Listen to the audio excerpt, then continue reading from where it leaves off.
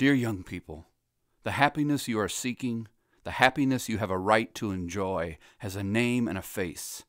It is Jesus of Nazareth, hidden in the Eucharist. Only He gives the fullness of life to humanity. With Mary, say your own yes to God, for He wishes to give Himself to you. I repeat today what I said at the beginning of my pontificate.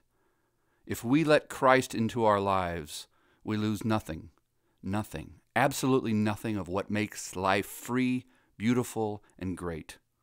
Only in this friendship are the doors of life opened wide. Only in this friendship is the great potential of human existence truly revealed. Only in this friendship do we experience beauty and liberation. Be completely convinced of this.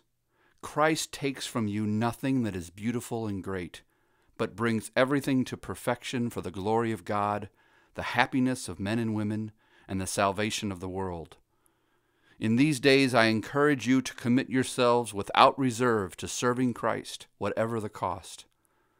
The encounter with Jesus Christ will allow you to experience in your hearts the joy of his living and life giving presence and enable you to bear witness to it before others.